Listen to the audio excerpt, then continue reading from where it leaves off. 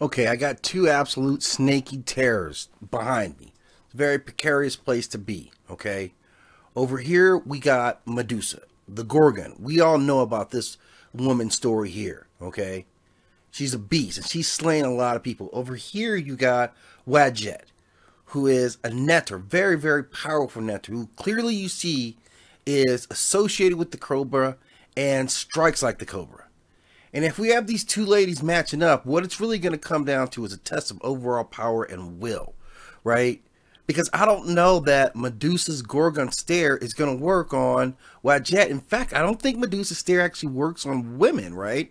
I think that was the curse of her spell, so that she would not hurt a woman. So yeah, I, I mean, there was already no way. But if that's taken away from you, it's just it's nothing. This is all Wadjet. Too much power. She is the Cobra. She's got to be your mistress or master in some kind of way.